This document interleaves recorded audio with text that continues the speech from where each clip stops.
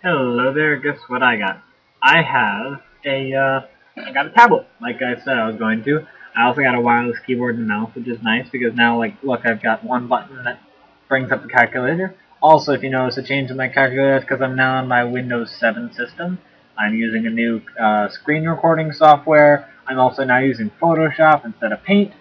Overall, big upgrades, um, because I've, I've taught one chapter in Poe, and I've taught um, like about like one and a half chapters in physics, and um, from the feedback that I'm getting, it's uh, they're helping people, so I'm gonna keep doing it. Um, anyway, on to our lesson. Okay, so what I'm going to cover today is uh, it's going to be um, it's called it's the I think the chapter title is going to be like momentum and impulse or something. I'm doing it a bit in advance just so I can get the videos out of the way. But uh, it's momentum and impulse. And what are momentum and impulse? Well, first let's look at momentum, and then from there we'll kind of come up with impulse. So momentum, the symbol for momentum is P, and I'm guessing that's just because, um, I don't know, maybe because mass was already take already took M. Maybe you could use the big M, but eh. P, uh, you can think about that as, um, mm, go away. Uh, and uh, that's just something that you should be able to remember relatively easily, so I'm not going to provide any kind of mnemonic device for that. Uh, but that's equal to, and I, actually, I'm not going to uh, write it down just yet. Your moment, momentum of an object is how much you don't want to get hit by it if you're in its path, or how much you don't want to be in the way of it. So, um, if you have one of these big, uh, one of these big trailer trucks, and yes, they totally do look exactly like this. So trust me on that, because you know I'm a big trailer person. They look exactly like that. All that good stuff. Oh yeah. Um, so you've got one of these big, one of those big trucks, and then you've got um, a Volkswagen Beetle. That looks kind of like a flying saucer. Then you've got a Volkswagen Beetle, and they are both moving at you at say uh, maybe this one's moving. Yeah, they're both moving at you at 20 miles an hour. So, momentum is how, is like we said, how much you don't want to be in the way of it. So, which would you rather be in the way of? The giant thing or the little thing? The thing that's huge and massive or the thing that has less mass? And that kind of leads into the formula. You'd rather be here, and because I mean, while you'd rather, while you don't really want to be in the way of any cars, um, if you have to be in the way of one of them, for instance, if you're in the middle of the street and they're uh, three feet from you and you have to choose to step either way, you'd choose here because you'd get less injured, uh, hopefully. But, um, so that's the first part of the momentum formula, mass. The more massive something is, the more momentum it has. And that, um, it probably came naturally to you. It just seems obvious. But even if it's obvious, I'm going to cover it. Because uh, if I start skipping over things because they might seem obvious to some people but not obvious to others, well then I turn into our physics and Poe teachers, um, which obviously that wouldn't help. Uh, okay, what's next? Well, also, what if you had um, an oh time for a fancy tool list? Actually, no, this is the same as what I could do in um, in Paint. Actually, I think it's going to be less convenient now that I think about it. Oh god damn it! There's no easy way of doing this, is there? Crap. Oh man, now I'm starting to like paint almost better. Uh, let's see, can I select this? Sorry, I'm still having fun with my new program. Or rather, not new, but uh, you get the picture. There we go. Okay, so you got another car. Um, we merge these two layers. Uh, how do I merge them? Merge. Merge. Merge. Merge. This is probably pretty creepy. Um, okay, screw that. Anyway, um, so now you've got two Volkswagen Beetles coming at you. You're in the middle of the highway, and uh, not this guy. He's already dead. Uh, and this one's going 20 miles an hour, and this one's going 5 miles an hour. Where would you step if you were right here and you had to pick one? Well, seems pretty obvious. You would step right there, right? You would you would stand in the way of the 5 mile an hour Beetle bug, or Volkswagen Beetle, because it's not moving as fast, so you'd rather be in the way of that one. And that gets to the second part of the momentum equation, velocity, and that's just how fast something is moving. and both of these should seem kind of obvious, so hopefully this won't be too difficult of an equation to uh, remember and make sense of. Momentum is how much you don't want to get hit by something. Um, so what can we do with that? Uh, okay, well, um, basically all the problems you'll see, um, at least until we get into impulse, uh, the problems that you're going to see are basically going to be problems like um, literally just finding the momentum of something. Because uh, there's really no problems that just involve momentum other than, okay, you have a football player who's 120 kilograms, and uh, you get and he's traveling at um, two feet per second. He's running at two feet per sec. Um, not feet. Uh, two meters per second. Uh, so what's his velocity? Okay, that's easy. We've got 120 kilograms times, that's the math, times 2 meters per second. And that's equal to 240. Let's look at these units. We've got kilogram meters per second. Yeah, that's a that's a weird unit. What does that mean? Uh, well, let's actually let's let's investigate this a little bit.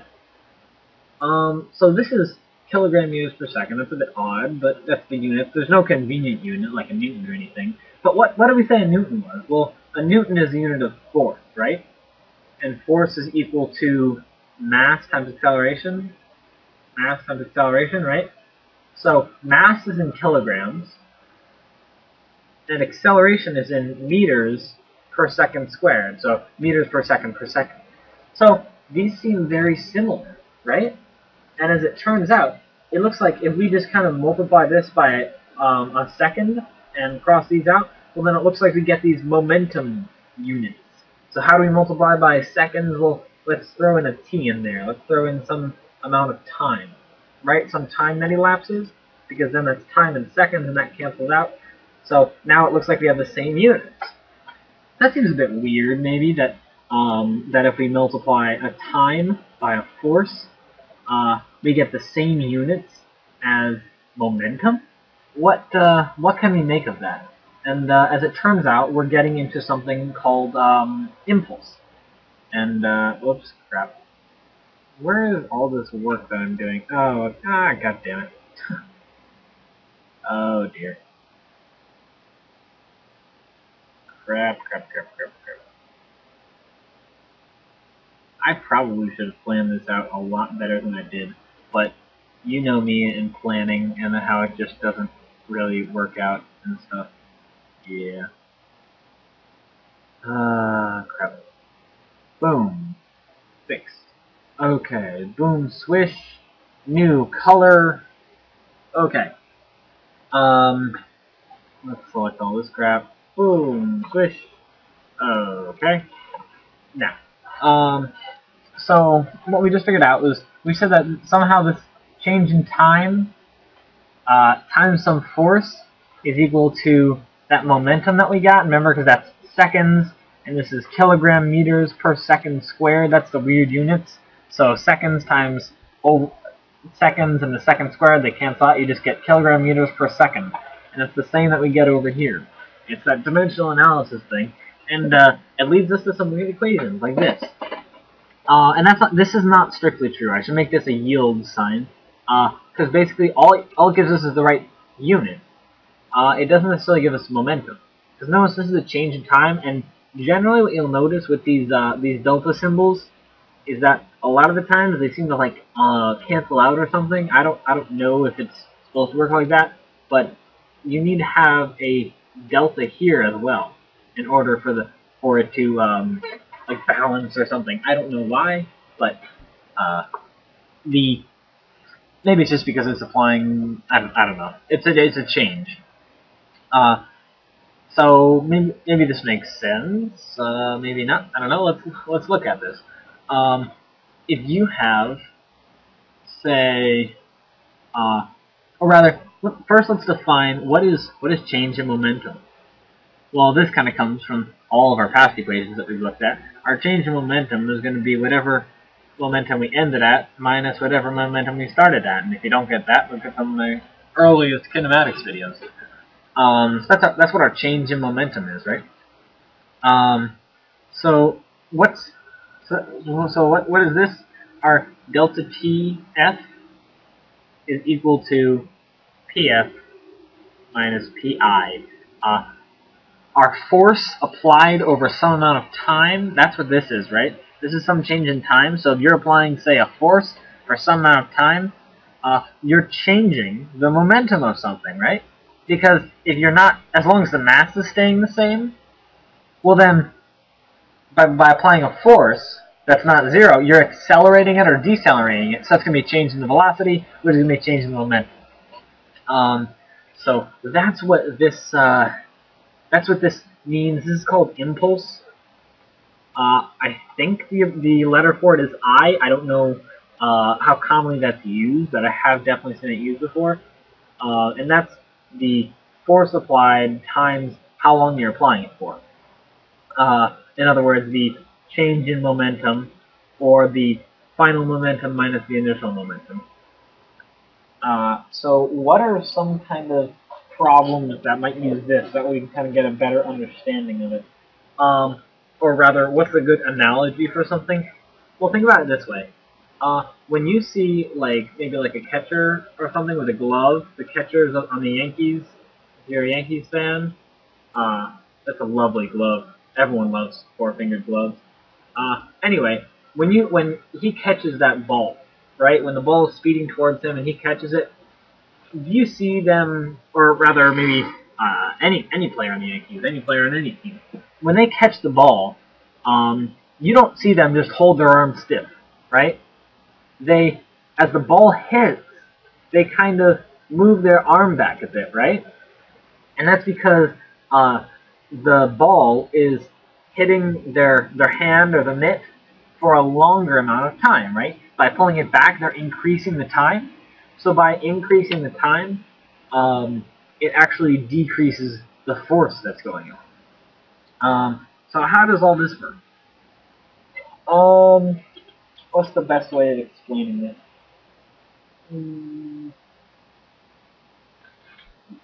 Maybe the best way of uh, saying is actually looking at it like uh, dividing by t and saying that the force exerted by something is equal to the um, the change in momentum divided by the time interval. I don't know. There's a lot of different ways of writing. Oops, this should be t. There's a lot of different ways of writing it probably the best way of looking at impulse is literally just change in momentum. Um, or force applied for some time interval. Uh, these are all kind of like the same thing. And this is one of the implications of it.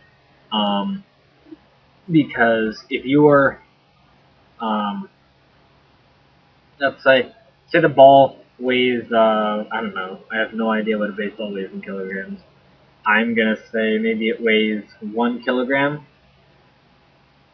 Now let's make it weigh 0.5 kilograms. The baseball weighs 0.5 kilograms uh, times its velocity, which we'll say, again, I have no idea. I don't know.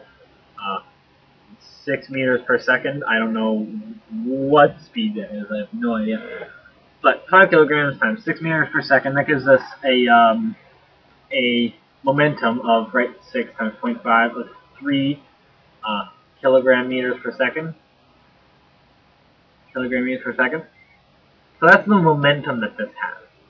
And uh, what we'll learn about with the law of conservation of momentum is that uh, it um, actually no screw it. Uh, so this is what momentum it has initially, right? The initial momentum is 3 kilogram meters per second squared. That's the momentum it has here. When he catches it, and he catches it, brings it to a stop, that's its final momentum, that's going to be zero, right? Because the velocity, when it, whoops, let me write down my basic equation there. The velocity, when he brings it to a stop, is going to be zero. That means that the momentum is going to be zero. Uh, crap, I'm out of time. I gotta go. Uh, I will pick this up in my next video.